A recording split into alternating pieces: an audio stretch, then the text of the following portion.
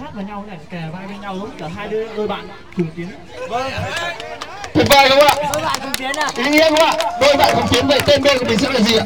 Cùng tiến. Ạ đội cùng tiến ạ. Tên Túng cùng tiến cùng tiến đúng không ạ? Vâng. Rồi cùng tiến. Cùng tiến là